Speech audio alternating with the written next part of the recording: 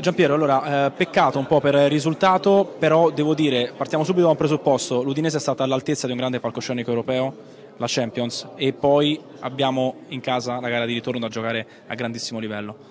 Sì, un buon risultato senz'altro, siamo riusciti a portare un buon pareggio con gol contro sicuramente un'ottima squadra.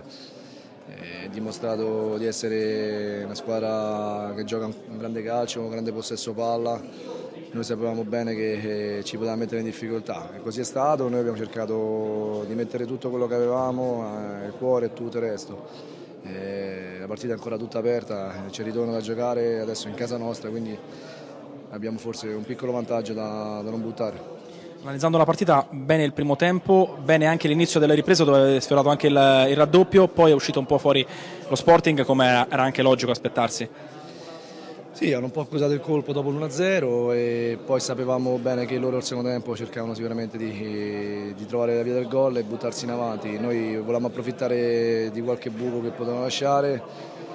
Abbiamo fatto una partita a livello difensivo straordinaria perché loro ci hanno messo molto, molta pressione e solo purtroppo un Eurogol del terzino sinistro ci ha fatto sì che loro raggiungessero il pareggio. E, come ho detto, ancora, la partita è ancora aperta, loro sono un'ottima squadra, ma noi non siamo nemmeno.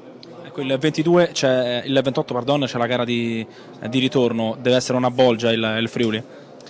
Ma sappiamo bene quello che ci, dà, che ci, dà, il nostro pubblico in casa, e sarà sicuramente una giornata di, di, festa, di gioia e speriamo di, di regalare un sogno a noi e a tutti i nostri tifosi. Possiamo dire in conclusione però che è tutto nelle vostre mani, nelle mani dell'Udinese? Beh, detto abbiamo un piccolo vantaggio, ma la partita ancora aperta, abbiamo fatto un gol fuori casa, e, come ho detto vuol dire tanto ma forse non vuol dire neanche niente, e le partite si giocano sul campo e il ritorno sarà, sarà sicuramente una battaglia.